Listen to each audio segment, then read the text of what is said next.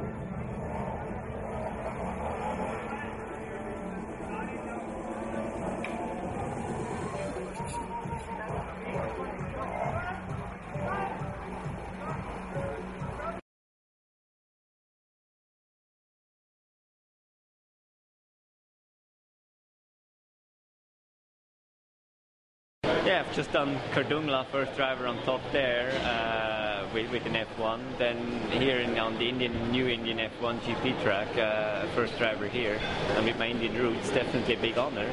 And on top of all that, with Red Bull Racing, the new anti-old world champion team.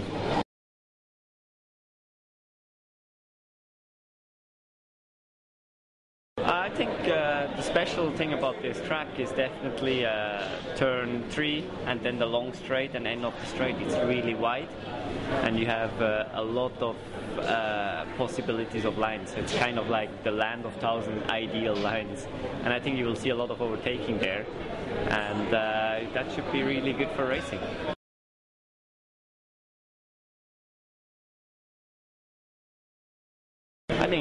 Classics, classic ones. Uh, will be Red Bull, will be McLaren, and will be interested to see what Ferrari can do.